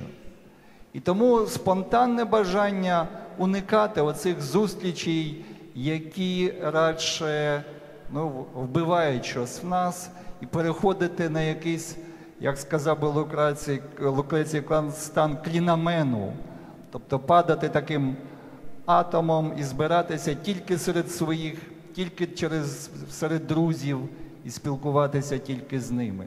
Але в якомусь е, розумінні ми сьогодні все одно приречені на публічність, чи то в аудиторії, чи то так зараз. Просто резонанс цієї публічності абсолютно змінився і, на жаль, в якусь таку меланхолійну сторону. Вахтанг. Ну, е, по-перше, я хотів би погратися тут словами. Е, Знаний термінознавець український Ольга Кочерга, вона е, дуже так погано ставиться до слова публічність, тому що їй це щось недобре нагадує, коли вона бачить на обкладинках напівоголених жінок і з назвою Публічні люди. І вона завжди каже, що ми краще маємо говорити українською не про публічність, а про прилюдність. Ну, зрозуміло, що це просто така, е, такий синонім, але повертаючись до реплік моїх е, колег і, сподіваюся, друзів, е, ну, по-перше, і е, друг може набриднути в дружній бесіді, так? І ми е, інколи е, не помічаємо, як е, наш, е, наша дружня бесіда філософів між собою перетворюється на змагання доволі авторитарних наративів. Так, і ось для цього нам потрібні виходи до аудиторії. Вони освіжають нас певною мірою. І я ось лише зараз починаю розуміти, навіщо взагалі читати лекції для студентів, оскільки ну, все ж таки е, курс готується там, е, класний курс стає класним лише там за 10 років, і вже тобі він набрид, начебто. Але сама змога е, весь час з новими людьми це обговорювати, вона навчає інше, ін- іншій риториці. Так? І вихід до більш широкої аудиторії е, збуджує щось інше, так? чи більш, це, це більш потужний виклик так? до власного авторитаризму, до власної нездатності підлаштуватися під аудиторію, відчути аудиторію, відчути ось цю публічність або прилюдність. І, до речі, ну, сама ситуація, що ви всі не пішли геть за годину, все ж таки е, заперечує те, що сказав Андрій. Ви нас витримуєте поки що, так? Е, слава Богу. Ось. Е, і стосовно ось філософії, що тут е, мені здається е, дуже корисно для філософії, те, що я сам для себе використовую, це міждисциплінарний дискурс. Е, Мені здається, що взагалі найцікавіше в сучасній гуманітаристиці відбувається не лише у філософії, а взагалі в гуманітарних науках, саме на перетині різних гуманітарних дисциплін: філософії, літературознавства, філософії, психіатрія, філософії, соціологія. І тут теж ми відчуваємо голос чужого. Так, не просто друга, а чогось чого, чужого. Ось тут, якщо дослухатися до почасти мого вчителя Бергенда Вальденфельдса, сучасного німецького феноменолога, то саме виклик чужого, чогось не чужого, не ворожого, а чогось інакшого, воно збуджує власну думку. І тому, коли філософ зустрічається з соціологом, з психіатром, з літературознавцем, е, це збуджує його власну думку в якийсь зовсім інший несподіваний спосіб. І е, на сам кінець, повертаючись до е, Гайдегера, все ж таки не можу не відповісти Тарасу. Е, так, Гайдегер певною мірою говорить про неавтентичність, але чого? На онтичному рівні ось цей дасман, субстантивований займенник безособовий, це не автентичність. Але в Гайдегера є такий екзистенціал, як міт-дазайн, тобто буття із, так? з ким? З, з вами, з іншими. Тобто е, справжнє автентичне буття на онтологічному рівні можливе лише з іншими. Наше справжнє індавельзайн, наше справжнє буття у світі це буття з іншими. І наше справжнє філософування це завжди філософування з іншими. Отже, ми потребуємо, я погоджуюся тут з Олександром, в якійсь формі, в якомусь модусі, у кожному разі ми потребуємо цю, я б сказав, прилюдність. Інше питання, яку прилюдність ми потребуємо, і які форми вона набуває в сучасній в віртуальній дійсності, в дійсності, яка зумовлена інтернет-технологіями тощо. Якщо немає, е, якщо немає більше охочих висловитись, я думаю, що ми мус, змусимо себе послухати аудиторію, правда? Э, Меня зовут Роман, я студент э, факультета журналистики. и У меня такой вопрос. Э, Он был один до этой дискуссии, а поскольку было достаточно интересное обсуждение, он сформировался еще более широко. Ну, для меня лично философия представляется зеркалом отражения некой реальности, некого времени. Точно так же я ее связываю с искусством из-за этого, потому что искусство для меня это представление некой реальности. И ну, очень сожалею то, что люди ну, очень слабо понимают сейчас, или э, искусство такое, что его плохо понимают. Ну, и это очень широко обсуждается в интернете, предоставляются статьи, где люди ходят, например, на такие же выставки и, к сожалению, не понимают их сути, не понимают то, что предоставляется здесь. Ну, а поскольку э, нам сейчас всем дано слово, и каждый сможет выс- высказаться, мне пугает такой вопрос, почему э, недавно э, мы обсуждаем, обсуждали здесь э, и события в Москве с, этой, с этим перформансом молодого художника, а почему-то мы обошли тот факт, что в этом пространстве именно мастерского арсенала должна была выставиться картина, которую администрация решила посчитать ненужным в этом пространстве и закрыла глаза.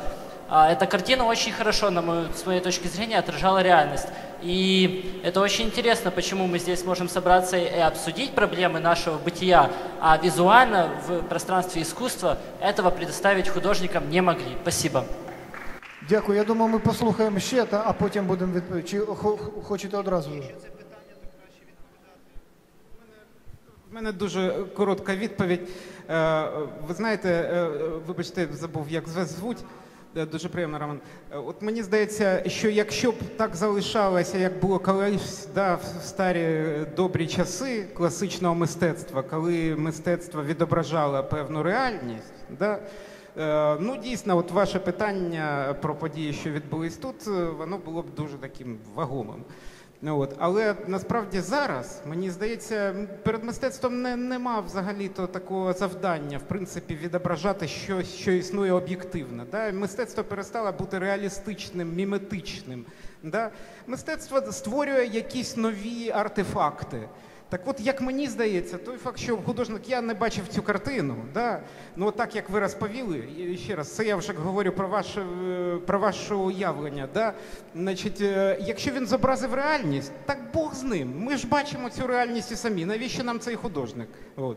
І інша справа, що той прецедент, який тут відбувся, що цю його картину хтось замалював, оце подія, оце мистецтво, це дуже цікаво. Розумієте, це, це подія, яка ва- вас привела, мабуть, сюди. Да? Це цікаво. Тут виникають думки, фантазії і так далі. Чому замалював, що замалював? Це дуже цікаво. І це нова реальність.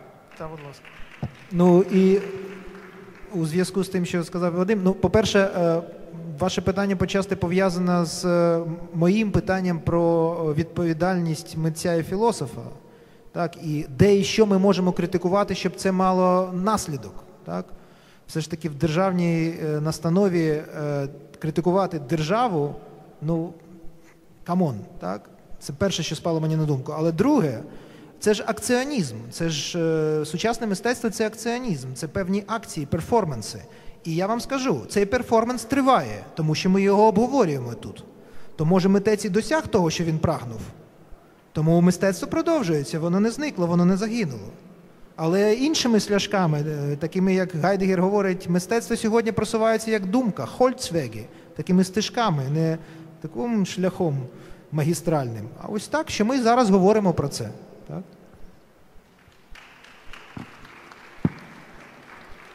Спасибо. А, я хотел бы задать вопрос относительно а, вот того эксперимента, который Влад Троицкий показал просто. То есть, если я его правильно понял, я надеюсь, я правильно понял, я тогда вот выскажу.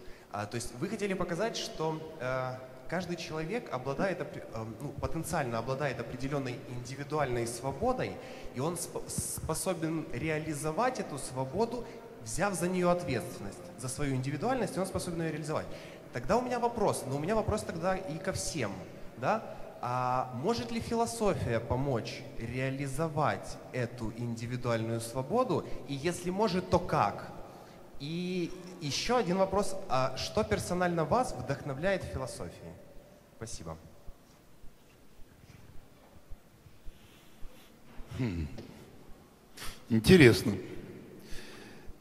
А, на самом деле, ну, для меня вообще- очень мучительный вопрос свободы и ответственности человека, ну, что делать со своей жизнью. Я вот делал такие эксперименты в театрах государственных, не здесь. Я предлагал актерам свободу, что было невыносимо это испытание, что делать, ну, он говорит, актер выходит на сцену, да, я говорю, слушай, ну давай, вот побудь человеком, не изображай некую там... И вот, ну, сначала очень радовались, всегда, Вернее, сначала боялись, потом радовались. И когда приближалась премьера, они говорили, ну окей, мы очень прекрасно провели с тобой время, а теперь давай, в общем, делать спектакль. То есть убей в нас все живое. И это загадочное чувство ну, и стремление человека к смерти, свободы в самом себе, это меня вот, ну, как завораживает, самоубийственная э, такая стремление к тонатусу свободы. Что, поэтому философия, да, вот философия, раз- размышления, не знаю, какие-то начитанные, что-то начитанное, наслышанное, оно помогает увидеть в себе вот это вот страх. Вот страх – это тоже такое составляющее, страх быть самим собой, страх увидеть мир, страх увидеть бездну внутри себя. Упс, и ты такой весь, весь корявенький, страшненький, с такими мыслями, и вообще неказистый, лысый, и вообще дрянь человек. И что с этим делать потом? И вот э, на самом деле, когда в себе увидишь вот этого Бога-человека, который творит, да, вот, который в состоянии творить, и не побоишься его, пойдешь с ним под руку, вот, собственно, акт творчества жизни, жизнетворчества. Ну вот это моя, как бы, извините, как- за такую От У мене запитання наступне. А, е, Більшість мовців, в принципі, погодилися з тим, що між е, мистецтвом і філософією, ну, ця теза неодноразово звучала, важко е, знайти якусь конкретну межу. Ось, але е, разом із тим неодноразово був згаданий Гайдегер. І моє питання наступне: от є відома теза Гайдегера щодо того, що філософ і поет е, ну, справжній філософ, справжній поет це ті люди, які знаходяться на однаковій е, висоті, але знаходяться на- на вершинах різних гір. Тобто вони один одного можуть чудово спостерігати. Так. І, але при цьому, е, щоб філософ став поетом, йому необхідно спуститися вниз і пройти весь шлях е, наново. І як цю тезу можна прокоментувати? І е, чи дійсно чи є сенс говорити про принципову різницю е, траєкторії філософа і митця? І е, ну, це, це моє запитання. Дякую.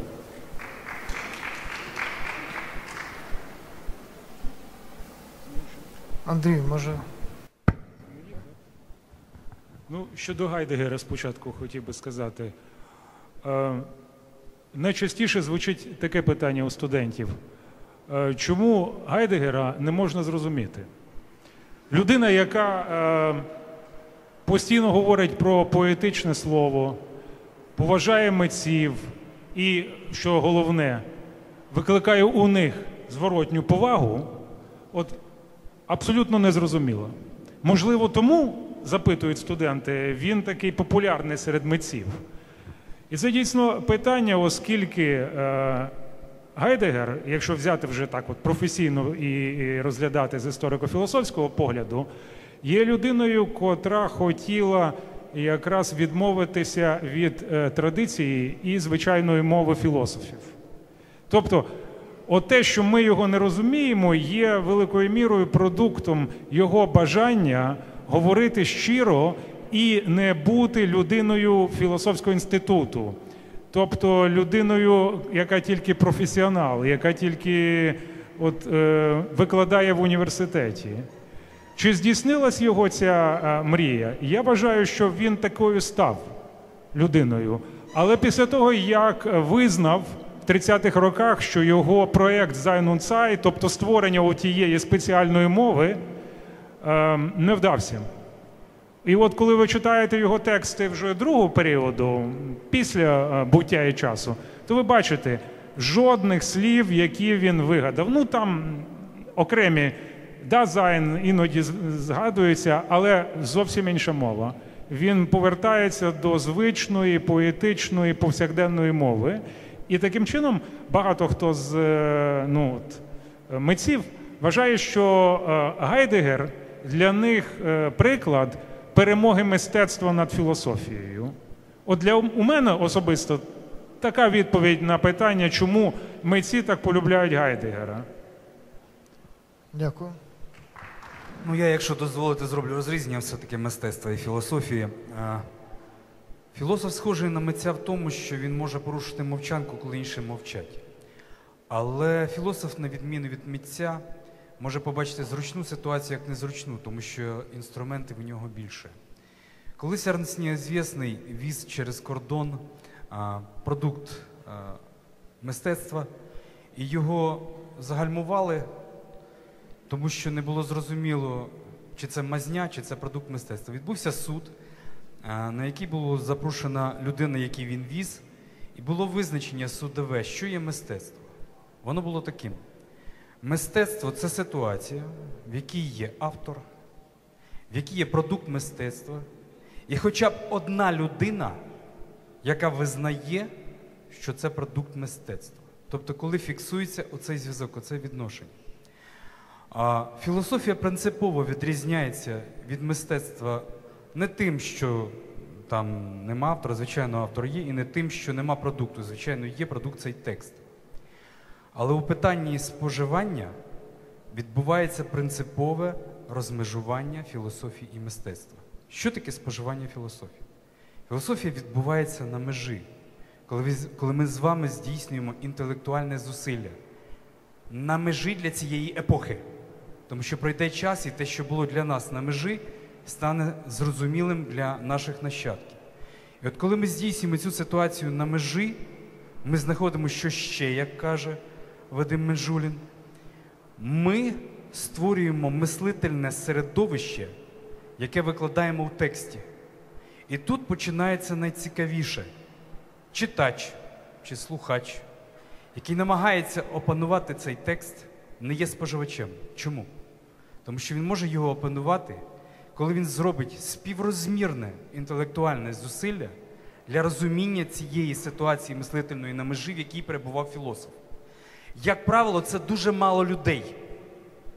Саме тому сучасна філософія ніколи не може бути модною.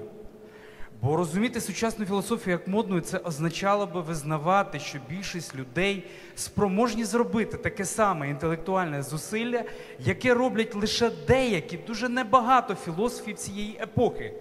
А це принципово неможливо. І в цьому сенсі сучасна філософія, коли вона опиняється на межі, коли вона робить це інтелектуальне зусилля, ніколи не може бути модною. Саме тому вона відрізняється від мистецтва, тому що її споживання завжди під питанням. Воно проблемне. Філософія має три презумпції. Перша презумпція це ідейна, тобто філософ має вражати якісь ідеї. Друга презумпція це меметична.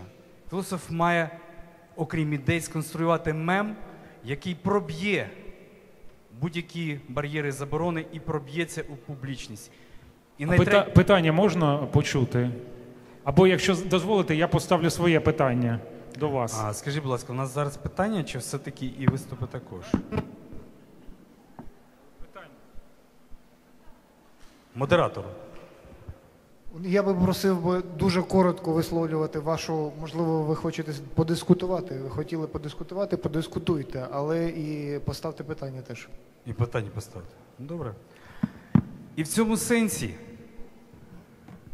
коли ми виходимо в публічність, найперше туди проникають меми.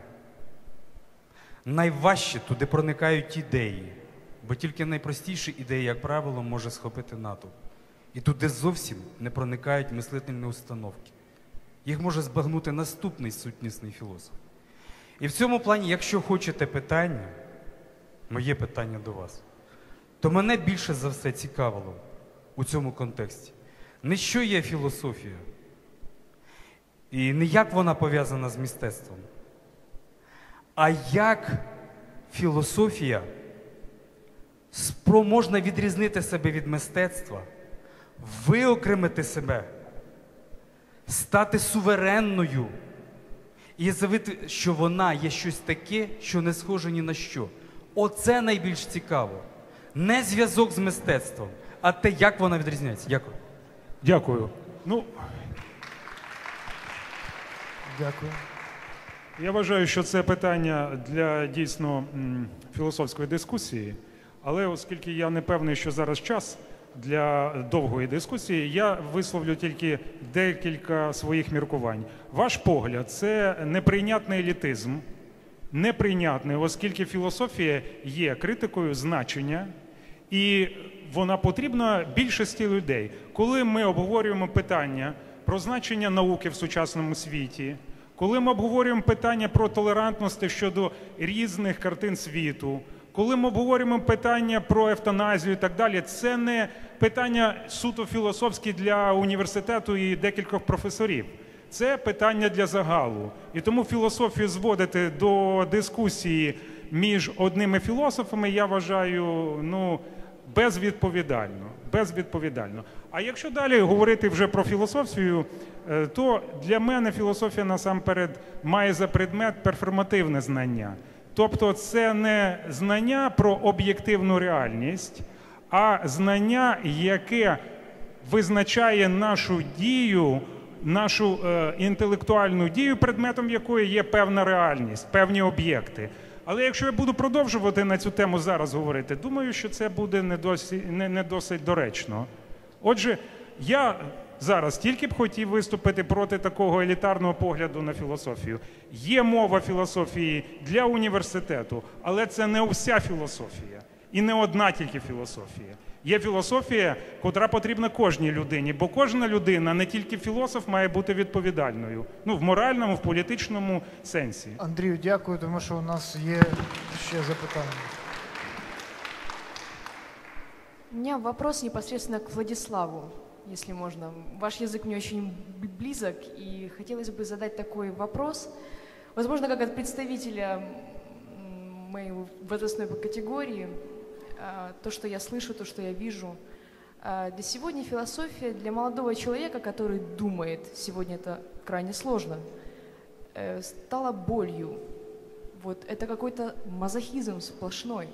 На самом деле, мы вот, что сказал Александр очень верно, мы выживаем. Человек – потребитель. Моя судьба 22-летней девушки предсказана. Мы живем по программам. Вот программы, которые нам создало общество или кто-то там, по которым мы встаем каждое утро и знаем, чем закончится наш вечер. Э, Вопрос мой прикладной. Владислав, скажите, как выйти из набора этих программ? Как избавиться от предсказанной судьбы? Спасибо.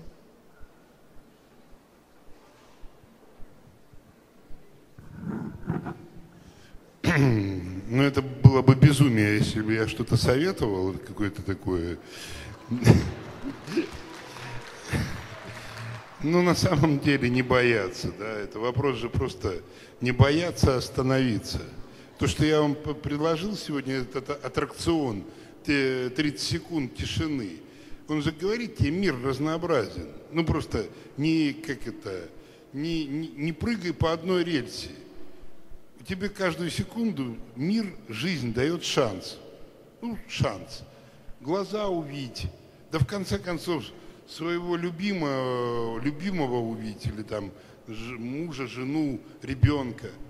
Вот это вот слепота и по поводу самого себя. Это вот самая большая, ну, как бы, катастрофа, с чем мы сталкиваемся в жизни. А теперь я вот сейчас хотел еще там по поводу, такая мысль по поводу специализации философии, да, там очень, и, ну, там, привести аналогию с театром. Вот я люблю, когда на мои спектакли приходит или очень искушенный зритель, ну, который искушенный-искушенный, или наивный зритель, который на самом деле принимает без всякого, э, ну, просто принимает вот как вот в этом плане, да, вот мне интересно, вот важно, да, когда он знает всю, весь генезис там, что там я надумал, или вот принимает первый эмоциональный импульс и от этого пробуждает, ну, как театр для меня вообще искусство, это умение задавать вопросы. Собственно, и философия, мне кажется, должна быть тоже точно так же. Она должна уметь задавать вопросы. Ответы, э, любой ответ – это самомнение идиота. Ну, как это я могу сказать? Ну, как я могу что-то сказать, ну, категорично, что это так? Ну, вы- ну тогда ну, точно не так.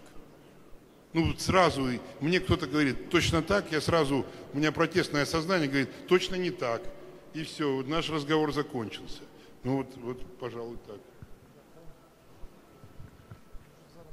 Добрий вечір. Мене звати Володимир. Е, Я студент філософського факультету університету Шевченка. Е, Я б хотів задати е, достатньо просте питання, яке стосується мистецтва, але на нього ну, немає якоїсь чіткої відповіді, дуже, дуже воно дискусійне. Е, Воно стосується авторських прав.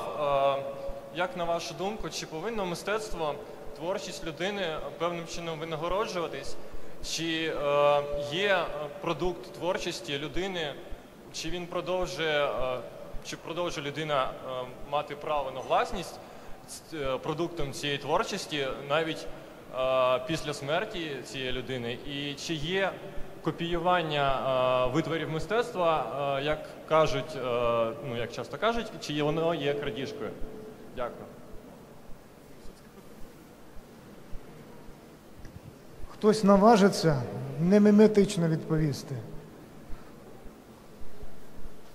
Ну, я анекдот можу розповісти з цього приводу. Ми перекладали е, книжку з німецькою мовою кафедрою, і наш видавець придбав авторське право у Німеччині. А коли е, він почав видавати книжку, то до нього митниця наша звернулася і спиталася, каже: А ви мито сплатили? А він каже: А з чого мито? Ну як, авторське право де було? Кому належало? Ну, видавництво в Німеччині. А зараз кому належить на український переклад видавництво в Україні. Отже, авторське право перетнуло кордон. Сплатіть мито. Розумієте, просто е, ця анекдотична ситуація вказує на те, що питання про авторське право, воно ну є, є е, закон український, є Бернська конвенція, так? Тобто, якщо йдеться про суто юридичний вимір, то тут все зрозуміло.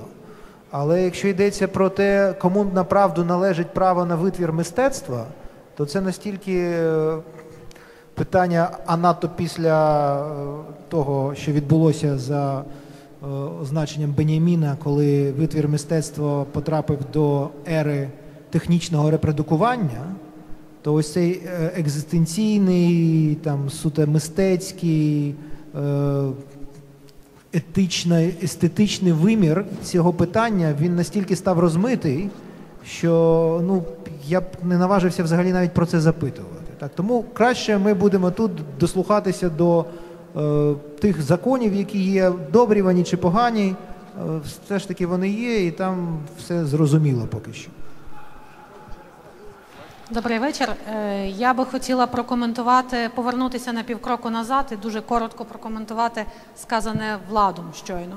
Якщо ви звернули увагу, йшлося про деякого наївного глядача, тобто глядача, котрий приходить із відкритою душею, дивиться на те, що він бачить. Власне кажучи, це мрія не тільки режисера, художника. Художник дуже часто, як мені видається, мріє про наївного глядача, котрий не існує. Він не існує в театрі, і він не існує теж в мистецтві, оскільки всі ми тут присутні є продуктами загальної освіти. Тобто всі ми вже щось знаємо про мистецтво. Ми вже знаємо, яким воно може бути, яким воно не може бути. І те, що мистецтво дуже часто говорить і повторює, що е, говорить і повторює, що мистецтво є практикою, котра дозволяє відчути дискомфорт нерозуміння, з якого починається мислення. Навіть це не завжди буває зрозуміло е, багатьом. Я би навіть ну, я наберусь на хабство і скажу, що навіть серед наших дискутантів сьогодні було досить багато не- ем, я би сказала, не наївних глядачів, глядачів з певним знанням, але не з готовністю е, справді розуміти мистецтво. Так що повторюю те, що я хотіла сказати: наївний глядач не існує. Це тільки така ідеальна фігура, якої би ми всі хотіли. У меня к Вадиму Минджулину вопрос. Вот вы сказали, что, э, ну, вы сказали, что философия это что-то еще, да? То есть удивление что-то еще, и в любом случае что-то еще. Да? Вот я хотел бы на, на этом вопросе остановиться. Можете ли вы объяснить более глубоко, есть ли здесь э, какая-то глубокая мысль?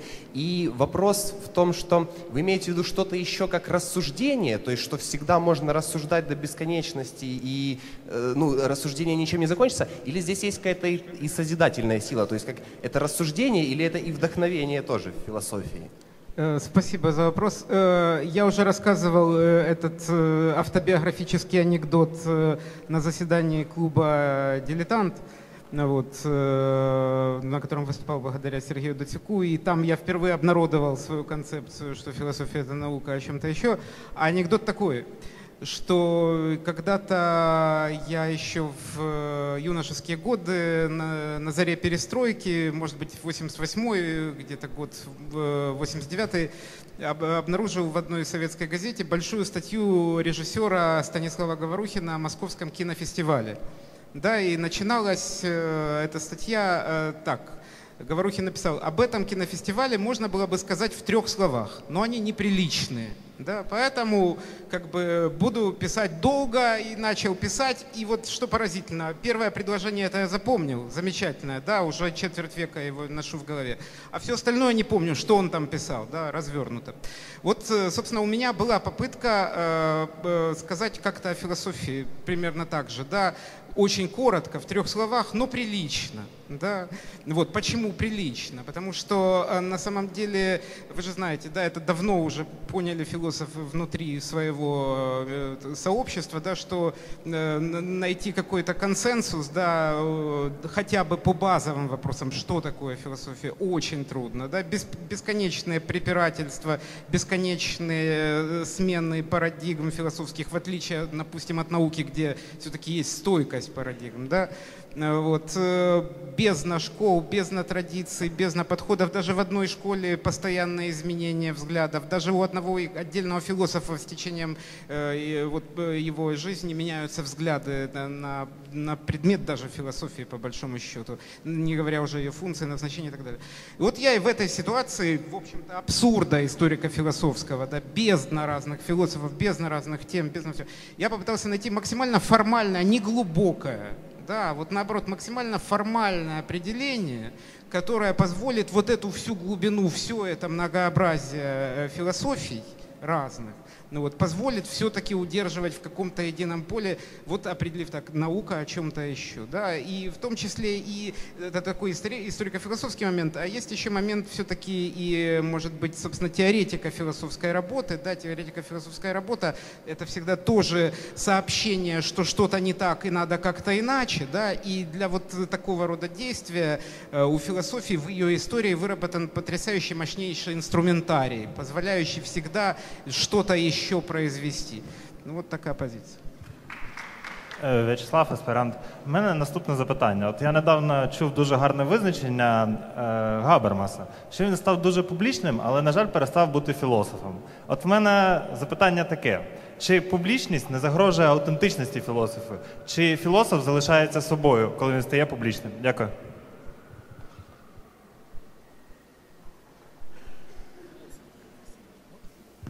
Можна було б дуже коротко, що декому дійсно краще було б не ставати публічним.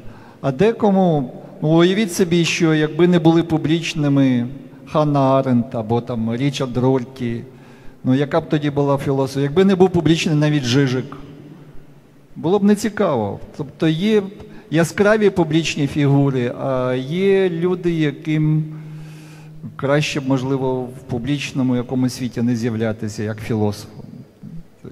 Можливо, доброго вечора. Я журналіст. Можливо, до все-таки Вадима Менжулина, тому що в нас спільні друзі, зокрема Олена Сибірякова, вона політолог. Е, Ми зараз стоїмо справді на порозі епохальних подій, е, підписання асоціацій і так далі. Ми просто говоримо справді про важливі речі, а суспільно-політичне життя воно безпосередньо зачепило мене тим, що мене спрацьовує всередині останні місяці когнітивний дисонанс в тому плані, що я собі з дитинства була чесною, справедливою. Якось вважала, якщо люди йдуть в політику, вони мають бути політиками. А коли прийшла в політику і почала займатися політикою, я бачу, що політики насправді йдуть в політику для бізнесу. Що робити, по-перше, е, з собою, що робити з суспільством, яке абсолютно аполітичне, і влаштовуються різні мітинги. Там буде мітинг 24 числа, для чого він, для показухи чи і так далі. Коли всередині ти якби цій вже не аполітичній країні, ти ще політичний, ти переживаєш за ідолю, згадуєш Шевченка, згадуєш всіх своїх е, ну, все, все патріотичне, що в тобі живе. Філософію політики, можливо, більше так. Питання зрозуміло? Да, е, ну, здається, мені принаймні так, що зрозуміло. Ну, ви знаєте, е, все ж таки, е, я повторюся, що від імені усієї філософії відповідати точно не можу. Я, е, уся філософія це завжди що ще. Да, моя особиста позиція е, це те, що по відношенню до політичних подій треба займати філософську позицію. От в цьому моя особиста позиція. Все ж таки, е, ну вже маю певний індивідуальний досвід, да, і певних е, захоплень певними політичними трендами. Наприклад, ну для от мого вікового е, статусу, да, це пере- перестройка. От. Е, Потім виявляється, що все ж таки, е, е, знаєте, як співається в пісні групи Нещасний случай, да, а до речі, там є і філософи за освітою в цій групі. Там є така геніальна фраза «Сіки, чувак, сюди». Сюда, сяки, чувак. Случается всегда не то, не там, не так. От так я ставлюсь до політичних подій, до очікувань якихось е, доленосних е, угод, рішень. Я в це не вірю. Да? Е, Тобто, от, ну, це моя позиція. Я впевнений, колеги абсолютно іншого дотримуються погляду, що треба активно впливати, покращувати життя суспільства.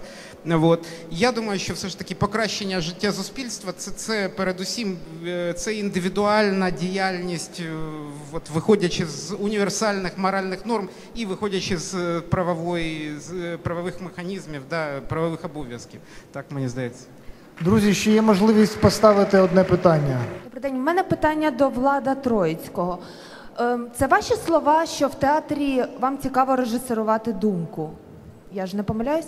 Так от я колись чула ще питань е, слова одного французького режисера про те, що театр це для нього місце думати чи мислити, the place to think, якщо ем, дослівно. Але вистави дуже різні. І мені було б цікаво, як саме, от е, можливо, наглядно на якійсь виставі ви б зараз пояснили, що саме таке зрежисерувати думку. Це виявити, е, спровокувати м, Там розвинути, я не знаю. І з- е, думку кого? Думку акторів, думку глядачів, думку як щось, що існує між акторами та глядачами. Ну про що зараз багато хто говорить. Чи не могли б ви це пояснити? Дякую. Ну, конечно, немножко такой с- сильно прикладной вопрос, но вот, например, то, что э, вспомнили спектакль «Сексуальные неврозы наших родителей», это провоцирование думки. То, что вот у вас возникло, да, э, будет ли чувство сексуальности через 10 минут после начала спектакля. И э, вот была такая провокация э, мысли, да, или спектакль «Собачья думка», э, будка, когда публика вначале как боги смотрела над уни- униженным украинским народом, а во втором акте она сидела, ее заколачивали заживо э, в этой клетке. И потом спрашивали, вы народ или не народ? Это, провок... это режиссирование мысли. С- э, Зритель становился объектом игры. Да, но мне это, мне, мне опять же, мне, мне хочется, чтобы был не для меня как режиссера публика, не, которая не пришла развлекаться, а публика, которая пришла трудиться. Вот если мне это удается, то я считаю, что спектакль удался. А Если публика действительно трудится. Вот сейчас вы тоже вот на самом деле на этом спектакле, который, казалось бы, проигрышно срежиссирован, на самом деле он срежиссирован оказался толково, потому что вы в течение двух часов, это редко, когда в театре можно два часа высидеть, это ужасное испытание. Текстовый театр, интеллектуальный, вообще ужас. Это только я знаю один пример. Васильев ставил Платона. Гениальный был спектакль, очень смешной. Не знаю, кто... Посмотрите в интернете диалоги Платона, просто фантастические. Вот. Ну вот вы два часа отсидели, я просто вам, вам большое спасибо. Я просто вами восхищаюсь. Браво, браво просто. Давайте поаплодуємо собі. Вітаємо всіх з Днем філософії. І на цьому наша програма не закінчується. Я хочу нагадати, що в кінці цього коридору ще є частина, е, значить, така мистецька частина. Це робота, інсталяція Марти Ващук, яка називається Філософія на берегах. Там зручне місце. Ви можете одночасно і подивитися цю інсталяцію, і поговорити, з'ясувати ще ті питання, які не встигли поставити, довести щось один одному чи спростувати. Дуже дякую. І дякую всім учасникам.